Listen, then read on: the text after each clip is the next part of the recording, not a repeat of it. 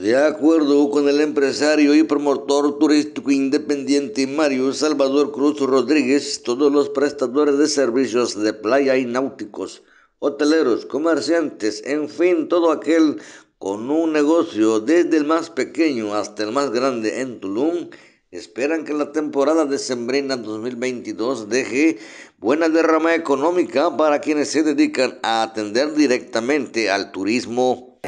Bueno, para este fin de año se espera una importante derrama económica para todo el sector. Lo importante también es que los sectores que no dependan directamente con el sector turismo se puedan integrar, y me refiero a las comunidades mayas, a las comunidades que están muy alejadas de, de los destinos turísticos del Caribe mexicano,